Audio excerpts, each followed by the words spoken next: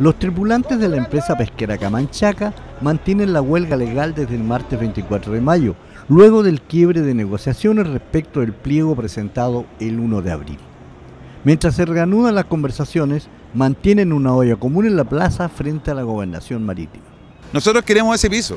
Nosotros queremos ese piso del 9%, lo que equivale a 350 mil pesos, pero lamentablemente la empresa eh, aduce, ¿no es cierto?, que este 6,7% es única y exclusivamente, ¿no es cierto?, a que las instalaciones de Pesquera Camanchaca tiene que, dejar el molo, el molo EPI en octubre de este año y para ello, ¿no es cierto?, hay un costo bastante enorme que son los traslados, ¿no es cierto?, de la, de la planta procesadora, ¿no es cierto?, de, de harina pescado que se, se va a trasladar para el sector norte, pero lamentablemente el costo quiere que lo paguemos los trabajadores. La empresa se acogió a los buenos oficios y luego de cinco días de negociaciones, la mesa tripartita de empresa, trabajadores y dirección del trabajo se quebró el viernes pasado.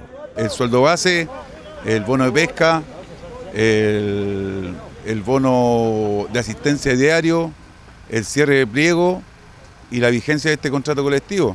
Esto, esto quiere decir que hoy en día la, empresa, ¿no es cierto?, eh, nos está ofreciendo un 6,7%, lo cual nosotros rechazamos esa postura, debido a que ese 6,7% ¿no es cierto? es muy bajo con, en relación al año 2012.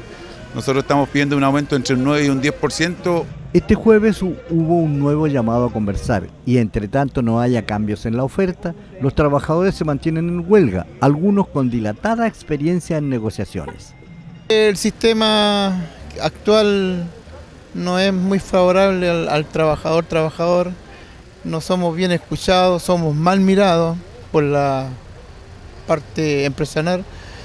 Eh, nunca este rubro ha sido bien, bien eh, cotizado, a pesar que somos una parte importante para el, para el sistema laboral, porque nosotros traemos la producción y esto se ve, usted ve que se exporta todo lo que es harina pescado y se reduce a dólar, siendo que acá nosotros los pagan en pesos.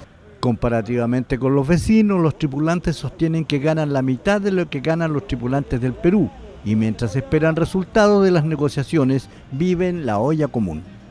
Por hoy día un charquicán este, con arroz y esto se complementa el charquicán con morrón, con zanahoria, con cebolla, lleva choclo, espinacas para rematarla, las papas y la carne de posta que, para hacerlo bien, para que queden jugositos, como corresponde. El bueno lo vamos a poner para evitar un poco de exceso de trabajo. Pero siempre, normalmente, el, como es un plato chileno, lleva un huevito arriba frito sobre el charquicán. Estamos peleando por algo para nosotros y es bueno, es bueno porque aquí todo se complementa y se, trabaja en grupo. Y como siempre en los barcos igual lo mismo, cocinar, charquicán, poroto, todo normal, lo mismo, todo lo mismo.